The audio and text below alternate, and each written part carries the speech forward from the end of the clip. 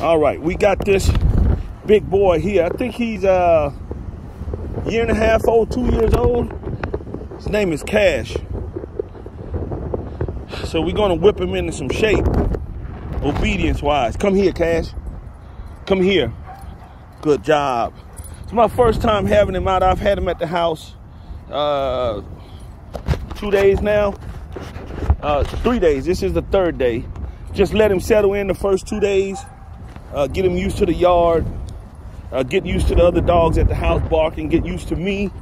Uh, and we're gonna put some obedience on him and just kind of sharpen him up a little bit for the guy. Good job, buddy. So we'll see how it turns out with him.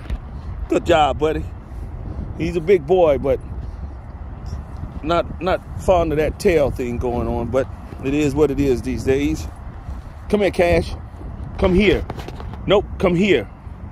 Come here. Good. Good. Ah, ah, no jumping. Nope. Nope. No jumping. Good. Good. No jumping, buddy. Good. No jumping. Good. Uh, no. I don't want to play. Nope. See, that's one of his problems is jumping up on you.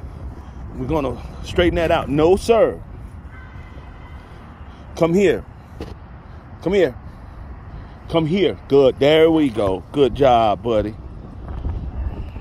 So we'll keep it up, keep you updated on him. We'll see how it goes. Good job, boy.